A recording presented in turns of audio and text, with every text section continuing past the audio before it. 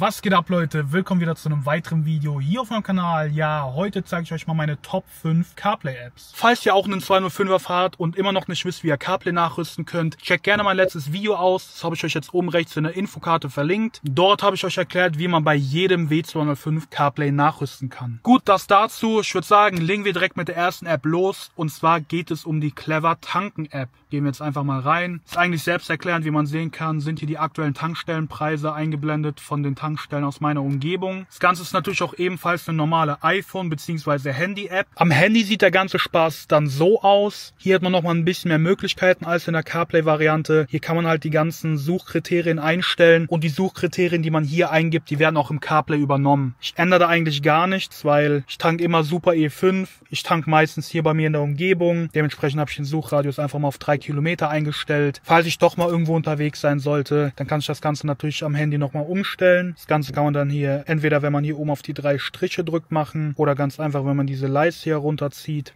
Dann gibt man einmal die Postleitzahl ein, den Suchradius, Antriebsart konventionell. Das bedeutet einfach stinknormaler Kraftstoff. Kann man das natürlich ändern auf Elektro. Dann kann man sich die Ladesäulen in der Umgebung anzeigen lassen. Bei mir ist es aber wie gesagt konventionell. Dann kann man den Kraftstoff nochmal genauer auswählen, was genau man haben möchte. Also wie man sehen kann, gibt es da wirklich alle Möglichkeiten, die überhaupt möglich sind. Also äh, allein von GTL-Diesel, HWO-Diesel, habe ich noch nie in meinem Leben gehört. Die Option gibt es aber trotzdem. Also ja, auch hier Bioethanol, das ist ja wirklich sehr, sehr selten. Trotzdem hat man hier wirklich alle alle Optionen, um dann wirklich die passende Tankstelle in der Umgebung finden zu können. Und natürlich auch, um die Preise zu vergleichen. Das ist für mich persönlich der wichtigste Punkt bei der App. Gut, weil es um die CarPlay-Variante geht, würde ich sagen, packe ich mein iPhone mal wieder weg und wir gucken uns das Ganze hier nochmal an. Habe ich aber gerade eben schon gezeigt. Wie gesagt, den Filter setzt man bei sich am Handy. Dann hat man hier die Liste ganz normal, kann runterscrollen. Sagen wir jetzt mal, okay, ich möchte jetzt an die günstigste, ich möchte zur Idee. Kann man draufdrücken und dann kann man sogar direkt eine Route starten und das Ganze wird dann in Google Maps übertragen. Man kann direkt hier im CarPlay mit Google Maps zu der Tankstelle navigieren. Hier kriegt man sogar noch ein paar weitere Informationen. Hier kriegt man die Straße, die genaue Anschrift angezeigt, die Öffnungszeiten, nochmal den Preis Super E5, vergleichsweise sogar direkt Super E10 Preis, falls man sich nochmal überlegen sollte, okay, tank ich jetzt E5 oder E10. Mit dem Stern kann man die jeweilige Tankstelle dann als Favorit markieren. Und wenn man jetzt einfach mal kurz zurückgeht, kann man sehen, okay, neben der Liste, neben der Karte haben wir noch den Reiter Favoriten. Wenn wir jetzt auf Favoriten draufgehen,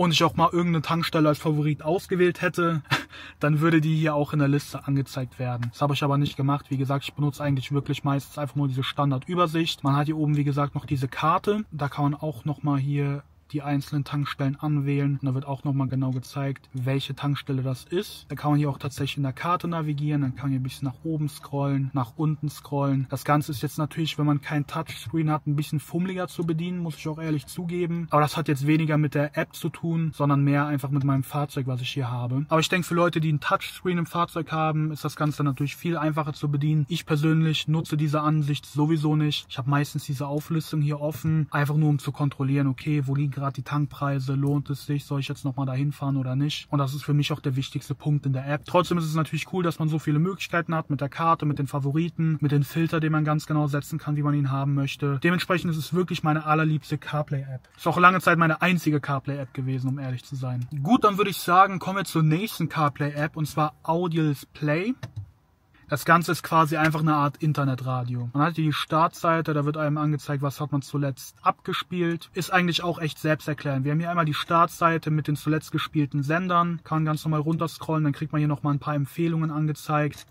Dann kann man hier oben auf den Reiter Radio gehen. Da kriegt man dann eine komplette Auflistung mit verschiedenen Kategorien und ja, da findet man eigentlich immer irgendwas. Also ist eigentlich echt geil. Das Ganze ist kostenlos. Man hat keine Werbung, außer halt die Werbung, die in den Radiosendern läuft, logischerweise. Hier oben hat man noch die Option, sich Podcasts anzuhören. Da habe ich noch gar nicht reingeguckt, um ehrlich zu sein. Mal gucken, Comedy, ist hier irgendwas Bekanntes oder sind das hier nur irgendwelche kleinen... Okay, jetzt ist hier ein bisschen was Russisches, okay. Ja gut, ich habe mein Handy eine Zeit lang auf Russisch eingestellt gehabt, auf russischer Sprache. Deswegen kriege ich hier auch äh, nur russische Sachen empfohlen. Aber gut, zu Podcast kommen wir gleich noch. Da habe ich noch eine andere CarPlay-App für euch. Deswegen würde ich sagen, schauen wir uns noch den Reiter Musik an. Da habe ich auch noch gar nicht reingeguckt. Okay, hier hat man aufgenommene Sender. Ach krass, okay, dann kann man sich hier quasi so Songs aus dem Radio aufnehmen und zusätzlich Podcasts runterladen, damit man nicht die ganze Zeit übers Datenvolumen streamen muss. Ist auch eine coole Option. Gut, das war die App Audios Play. Das ist quasi so ein kleines Internetradio fürs CarPlay. Gehen wir rüber zu Brave.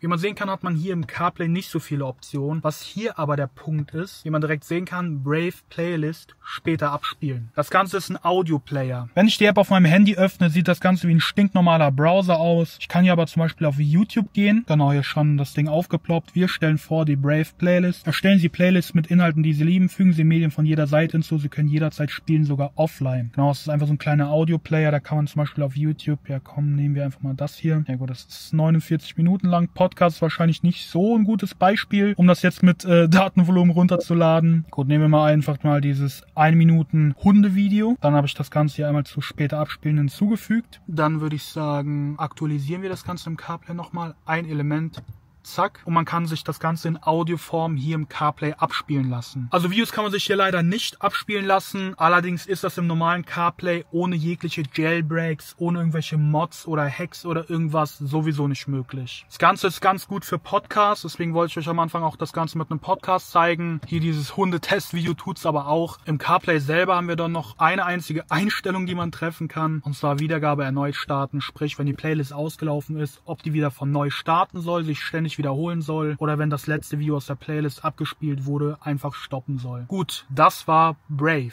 Die nächste App ist On the Way. Wie man sehen kann, erstmal unscheinbar, das ist einfach nur eine Karte. Könnte man meinen, aber ich kann hier jetzt suchen würde sagen, ich gehe mal auf letzte suchen. Kassel habe ich als letztes beispielsweise mal eingegeben zum Testen. Das Ganze lädt einmal die Route und, wie man sehen kann, kriegen wir hier Temperaturen angezeigt. Das ist eine Wetter-App kombiniert mit Google Maps. Und das Geile ist, das ist auch uhrzeitbasiert. Das bedeutet, ich bin jetzt gerade hier, wir haben 23 Grad, 20.17 Uhr haben wir jetzt gerade in Neuwied. Wenn ich jetzt nach Kassel fahren würde, würde ich um 21.27 Uhr ankommen und dort werden es dann 20 Grad sein. Eine sehr, sehr geile App. Ich muss ehrlich zugeben, dass ich die noch nicht benutzt habe, aber aber die Idee ist richtig geil. Es funktioniert super bis jetzt. Das Ganze basiert, wie gesagt, auf Google Maps, beziehungsweise ich glaube, das ist sogar Apple-Karten, wenn ich mich nicht irre. Man kann auf jeden Fall hier die Route dann starten. Zum Ziel navigieren. Fast klar für die nächsten elf Kilometer. Klar danach. Genau, da wurde ganz kurz nochmal eine kleine Wettervorhersage hinzugefügt. Ich glaube, wenn ich jetzt gerade auch hier mal rausgehe auf diese Standardansicht, die ich auch immer habe, hier drüben. Genau, hier hat man dann noch standardmäßig die Navigation. Hier kriegt man die nächste Navi-Ansage angezeigt und hier kann man immer noch seinen Podcast oder sein Video bei Brave wiedergeben. Ah ne, guck mal, das sieht doch hier schon mal ein bisschen besser aus. Man hat hier diesen Button, wenn ich jetzt zum Beispiel da drauf drücken würde, dann wird einfach die große Ansicht angezeigt. Man kriegt hier diese fetten Icons mit diesen Wettersymbolen. Jetzt kriegen wir hier auch einen Pfeil angezeigt und wenn wir da drauf drücken, hat man dann diese Standard-Navi-Ansicht, die ein bisschen näher ist und dann hat man auch ein bisschen mehr Übersicht. Genau, also wie man sehen kann, hat man hier nicht viele Optionen. Ich sehe gerade, hier steht sogar Apple-Karten. Trotzdem bin ich so lost und sage am Anfang, dass es Google Maps basiert ist. Ja moin. Genau wie man sehen kann, ist diese Wetterthematik einfach das Hauptding bei dieser App. Ich finde die Idee richtig, richtig nice. Ich freue mich auch schon drauf, wenn ich das das erste Mal benutzen kann. Aber so macht es auf jeden Fall einen guten Eindruck. Hat jetzt keine Werbung oder sowas drin. Dadurch, dass das Ganze auf Apple Karten basiert, kann man jetzt auch sagen, dass das Ganze echt zuverlässig ist. Jetzt tritt vielleicht wieder die Diskussion auf Google Maps versus Apple Karten. Jeder soll natürlich nutzen, was er möchte, aber Apple Karten ist auf jeden Fall nicht verkehrt, obwohl ich selber auch lieber Google Maps nutze zum Navigieren. Kommen wir zur letzten App und wie vorhin schon gesagt, geht es um Podcasts. Es ist nämlich die Standard Apple Podcast App. Genau, also es ist einfach die CarPlay Variante von der Apple Podcast Podcast-App. Ich muss sagen, was ich hier ganz cool finde, meistens hat man ja das Problem, dass man bei der CarPlay-Variante von der App keine großen Optionen hat, um irgendwelche Sachen zu suchen oder sowas. Aber hier hat man wenigstens diesen Entdeckenreiter, wenn man auf schnelle Welle noch irgendwas abspielen möchte, wenn man gerade am Fahren ist und nicht sein Handy zücken möchte, kann man sich hier trotzdem ohne Probleme irgendwas auswählen. Es gibt hier wirklich hier Top-Folgen, Top-Podcasts, irgendwelche Empfehlungen oder sowas. Und da findet man auf schnelle Welle ganz kurzfristig mit Sicherheit auch was Interessantes. Das ist ganz cool. Dann hat man natürlich hier oben rechts die Mediathek Bibliothek, die man vorher bei sich am Handy füllen kann. Das Ganze kann ich hier am Handy zum Beispiel einmal demonstrieren mit, äh, ah guck mal hier, Edeltalk. Dann kann ich den folgen. Genau, jetzt nicht. Und das Ganze ist jetzt automatisch in der Mediathek mit reingekommen, zuletzt aktualisiert.